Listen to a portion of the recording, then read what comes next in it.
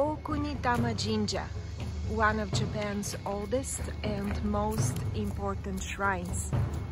Join me on a live, virtual, interactive adventure into the enchanted world of Shinto, the way of the gods, Japan's indigenous faith as ancient as the country itself. My name is Michaela and I'm inviting you on a magical adventure to faraway Japan. For this journey, you do not need to have an airline ticket. All that is needed is good internet connection and a comfortable chair to relax in. I'm looking forward to being your guide.